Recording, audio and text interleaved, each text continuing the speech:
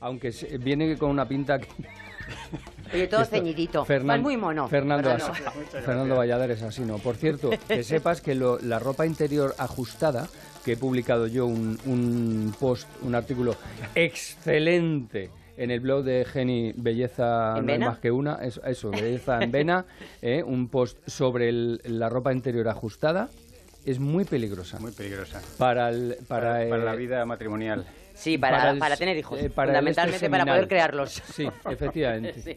Se pierden, se pierden Bueno, Fernando Valladares es profesor de investigación en el Museo Nacional de Ciencias Naturales del CSIC y profesor asociado en la Universidad Rey Juan Carlos. Es un crack, por decirlo de alguna manera, una de las mentes científicas más brillantes que tenemos en este país. Yo estoy de acuerdo porque además no es la primera vez que No, como ha venido 17 veces ya, vamos, yo le estoy cogiendo un asco ya que, que no Ya quisiéramos tenerla aquí 17 veces. Hola, Fernando. Hola, Bueno, vienes en esta ocasión para hablarnos de algo que tiene que ver con la ciencia, pero tiene que, también que ver con, el, con, con, la comunicación de la ciencia y con algo muy lúdico.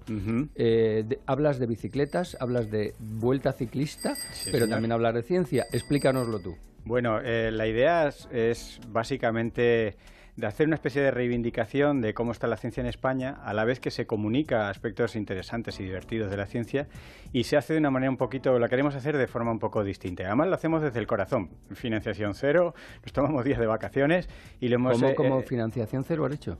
Nos lo pagamos de nuestro bolsillo. ¿Ah, Tal cual, porque no tenemos ya más tiempo. Si entrenamos, investigamos, damos clases y tal, ya buscar sponsores, como vosotros lo sufriréis, patrocinadores, patrocinadores lleva un rato. no y, amigo. y empezamos al principio y, no era difícil conseguirlos porque la idea es atractiva. Es muy atractiva. Pero es esta idea de, pedalear y comunicar. sois cuatro, eh, cinco. científicos. Catedráticos de ecología, profesores de investigación de, cinco sitios distintos. Y ¿Que vais en bicicleta? De universidad en universidad. Ahora os cuento la ruta si queréis y, y detallitos un poco logísticos. Pero la idea es cinco científicos eh, del, ámbito de la biología y de las ciencias naturales que nos subiremos a la bicicleta, enlazaremos ciudades, caeremos en las universidades por la tarde, eh, haremos un acto un poco académico contando la propia vuelta, contando algunos aspectos de la ciencia en España y luego dando una charla de nuestras especialidades. Ah, ¿En la universidad? En cada una de ellas. ¿Y por qué no lo hacéis en la calle para que la gente vaya en las ciudades a...? También es una opción a cada persona que le decimos esto, cada, como tú ahora acabas de hacer, nos sugiere una idea súper interesante. Tenemos un montón de limitaciones. Eh, por ejemplo, en este año 2018 queríamos meter muchas mujeres, o por lo menos 50-50, y nos ha costado mucho y las que teníamos medio engañadas al final se han rilado.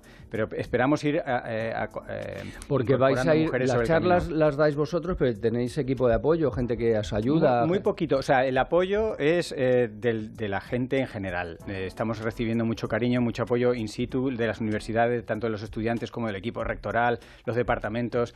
Incluso hay muchas personas que se van a, bueno, muchas, veremos cuántas en la realidad, pero unas cuantas en cada sitio que se nos unirán y pedalearán los últimos kilómetros con nosotros, ah, que nos hacen un poco de acogida y, que le dan, lo, que buscamos con esto es tener un poquito de, de visibilidad. Vale, y en esta primera vuelta ciclista por la ciencia, ¿cómo convocáis? O sea, ¿cómo se entera la gente de que llegáis? De ¿Cómo? Pues eh, las redes sociales, la página web, bueno, y programas estupendos como el vuestro, claro. Esto tiene unos índices de audiencia altísimos.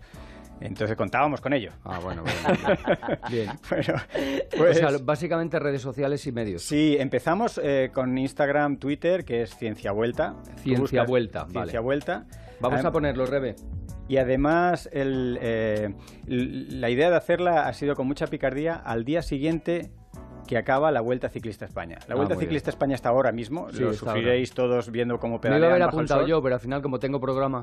igual tienes también luego que reservarte un poco para la siguiente competición, sí, claro, no puedes quemarte. Pues la Vuelta Ciclista está ahora mismo y acaba el domingo 16.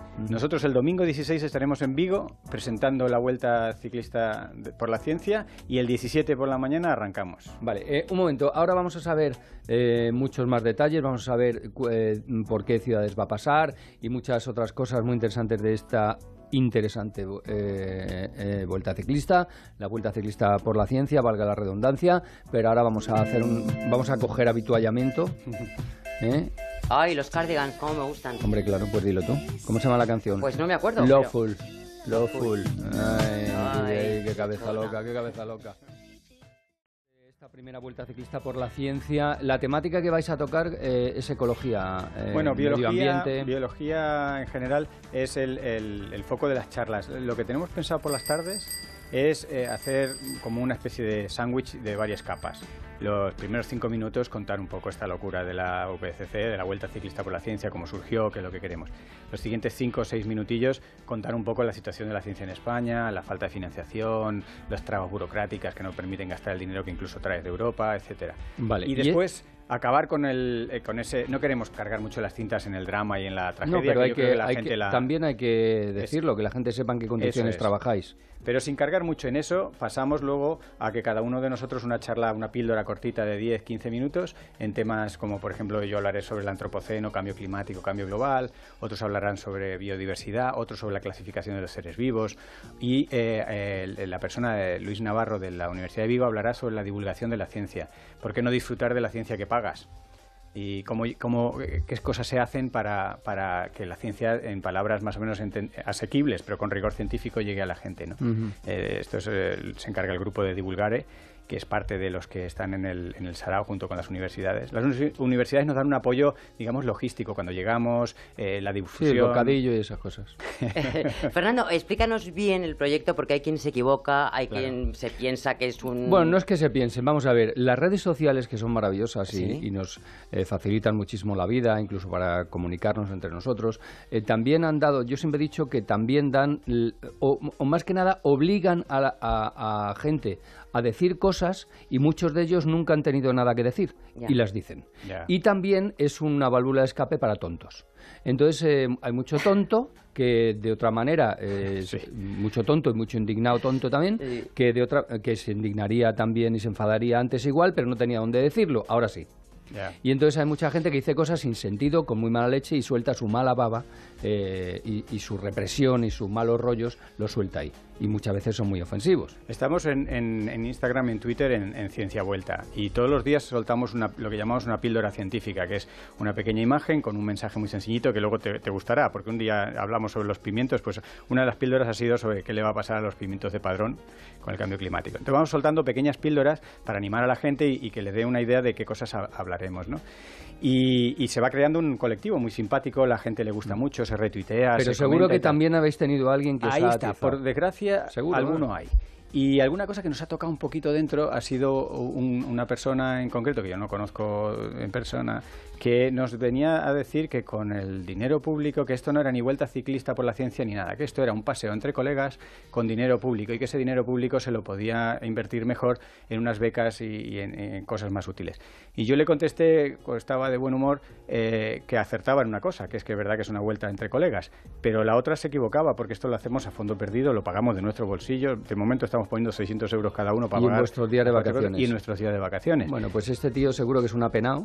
Pues sí, un poco va desencaminado. Efectivamente, Está equivocado, sí. un apenado y, lo que le decía de buen rollo es que lo estamos haciendo con cariño y cuando tú haces las cosas con cariño recoges cariño. Entonces, mayoritariamente la gente esta idea le gusta, nos apoya y, ya vamos casi pedaleando sobre ello el, ambiente que se está creando. ¿no? Oye, una pregunta, ¿cuántos kilómetros son? No sé si lo habéis dicho y no me he enterado. Pues son eh, más o menos unos 700 y pico. Wow.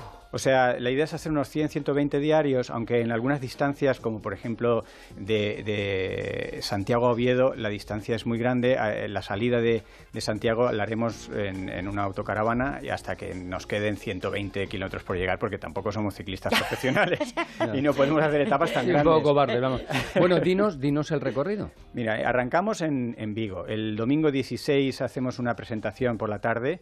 Eh, el domingo que acaba la Vuelta Ciclista España eh, hacemos una presentación. El viernes 14 en el Jardín Botánico de Madrid, eh, a las doce y media para el público, haremos también una presentación. Y el lunes 17 de septiembre empezamos a pedalear desde Vigo, de Vigo a Santiago. Primera etapa. Segunda etapa, Santiago, Oviedo. Tercera etapa, Oviedo, León. Cuarta etapa, León, Salamanca. Quinta etapa, Salamanca, Móstoles, Madrid. Muy bien. Entonces, cada, cada día, pues eso. Ciento y pico kilómetros. Por la mañana se pedalea, se llega hacia las dos, Lo que pasa es que, Por un hambre horroroso. No, pero es que han sido muy listos porque van desde Vigo hacia Madrid, que es todo cuesta abajo. Eso lo qué cabrones, qué cabrones, qué Vamos hacia abajo todo. Qué gentuza. Nada, los picos de Europa creo que se suben solos. Y además, y además llegáis a las 3 de la tarde, a la hora de la comida, pero estáis zumbaos. Pues vamos a ver cómo llegamos. Y la, y la idea es, eh, estamos invitando a la gente que se una a, pedalear con nosotros al menos los últimos kilómetros. Hay bastante gente. Ah, muy bien. Incluso algunos rectores y algunos ah, jefes de departamento, profesores de investigación, gente muy variada que dice, yo sí puedo los últimos 20 kilómetros y eh, pedaleo. Y es entrar en las ciudades... Mira, podíais hablar con los de la red Juan Carlos, a lo mejor por los que se los que pedalen los últimos kilómetros le dan un máster. Bueno, eh, no, me recuerda Fernando, solo. Exacto, la idea es un poco esa. Fernando, muchas gracias. Os haremos... Ah, bueno, ¿dónde te apuntas para ir con vosotros? Irnos o para... contactando, tenemos la página web... Vamos a ponerla en nuestras redes también. Que es también Ciencia Vuelta, o sea, cienciavuelta.com. Vale. Allí nos localizáis y en las redes, en Twitter y en Instagram, Ciencia Vuelta. De acuerdo, pues muchas gracias Fernando Valladares. Sabes que eres un, fijo en este, ya te vamos a tener que contratar como colaborador. Encantado de la vida. mal. Muchísimas gracias y gracias por lo que hacéis por la ciencia y por todos los demás. Venga. Un abrazo fuerte.